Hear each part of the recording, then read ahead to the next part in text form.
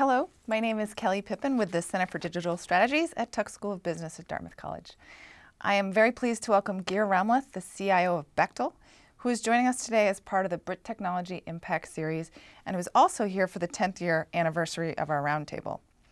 Welcome to Tuck Geir, and thank, thank you for being here. Thank you. You have a history of wanting to deconstruct IT orthodoxy and rethink processes to boost efficiency. Is cloud a technology that helps you reshape IT into a more nimble operation? I, th I think the cloud, cloud approach definitely can do so. Um, it, it, takes some of the mystique out of the whole IT environment so that you have to do less of the, the plumbing and, and more of actually the, the real value added to, to corporations or to the business processes that, that you really want to support in all of this. I also think it, it helps us open up. It, it opens up the enterprises in such a way that you can work with other companies, uh, if they are partners, vendors, customers, in a totally different way than we can do when you have more of an internal approach where everything is kind of run by the corporation for the corporation. I think the cloud opens up that and it, it frees everybody to do uh, what maybe the, the more extended business environment should be doing for us. Mm, that's a good point. Um, what do you see as the chief benefits of cloud computing and maybe the chief risks too? The chief benefit is probably that um, you, are gaining time.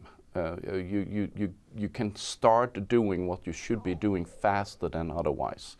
Uh, you don't have to build a whole bunch of things before you actually can start seeing the benefit from it. The other one is that you probably also can do a little bit more trial and error. So you can try stuff before you actually have done a large uh, investment uh, into your uh, solution uh, and so on. The risk, um, the, the, first risk is just people's expect, uh, uh, acceptance of it. that people don't accept it. They, they will fight it. they will fight it maybe for the wrong reasons. They will not fight it for what it can benefit you. It's, it's kind of like a half, half empty, half full kind of a scenario.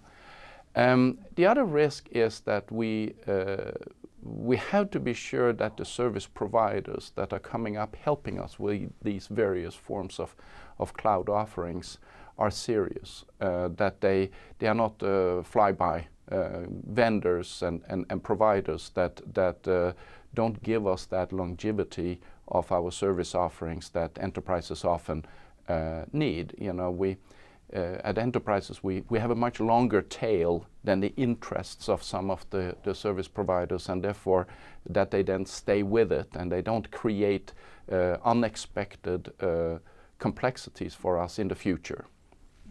Uh, there probably a, a, a, another thing that that also uh, increases the risk in it and that is the the uh, management around the information, who owns the information, who has the right to use the information.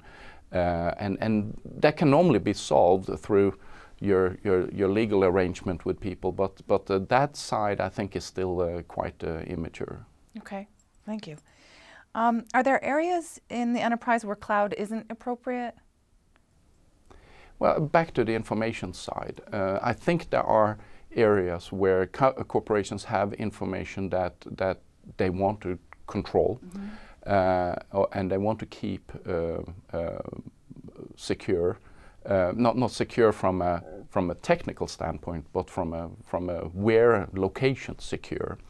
Um, we have that internally. We have stuff that we, by policy and by by uh, legal arrangements, can actually not move off Bechtel uh, uh, premises and therefore we uh, cloud, well, it could be maybe in a private cloud, and then it still is on Bechtel uh, premises, but it, it, it has some kind of a, a, a, tricky scenario for that kind of stuff. You have pushed IT at Bechtel to be a more service-oriented function.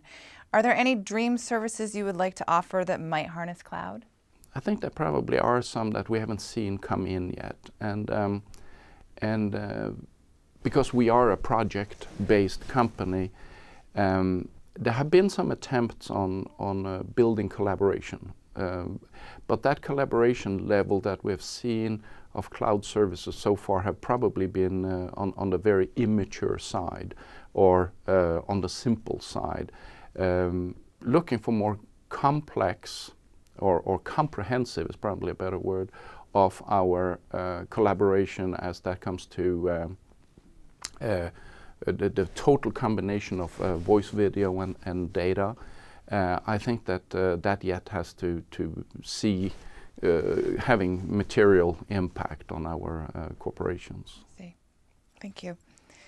The, um, there appears to be some hype surrounding the reach of cloud. Assuming that the adoption continues, how will the role of IT change in the future? Well, as we see the, the enterprise adopting more into the cloud, um, I think the roles of IT will change dramatically. I think what we will see is that we will do less of the plumbing mm -hmm. and more of the services. And uh, those services, uh, I kind of believe will be both self-performed as well as, as uh, performed by a service provider. So, so the role of IT, uh, some part of it will be, will be more of an aggregator of services than actually a creator of those services. And um, uh, it will be interesting because what we're seeing is that uh, you should be able to get actually the, a greater portion of your IT resources closer to where it matters, uh, meaning that uh, if you take a, uh, your IT staff, more of those people will interact with actually the people using the technology rather than building the technology. There are services such as virtual private clouds that allow enterprises to add their own security measures to otherwise public clouds. Will these be sufficient to limit risks of data breaches? I don't think it's the end destination, um, but it definitely helps us in the shorter term. Uh, that we can uh, wrap our uh, security policies and our approaches uh, against uh, third parties and link them into your own uh, definitely has a, a, lot of meaning. Um, where we see it really uh, plays a, a, big role is for uh, peak loading. You need to add some capacity for a very short period of time. Uh, you can kind of adopt somebody else, else's technology and, and and adopt that in and, and, and uh, take that with you uh, as, as your own resources for whatever processing that you need to do. Um, I, um, I think it also has, uh, uh back to what we talked about earlier about speed, uh, I think it can also help you get resources from other uh, re providers in a much quicker way than you could otherwise do because you can just apply the policies and get going literally in minutes. It's exciting. It's, it's very exciting. It's very exciting. It's very cool. Well, this has been Kelly Pippin for the Center for Digital Strategies. I'd like to thank you for being here, Geir. Thank you.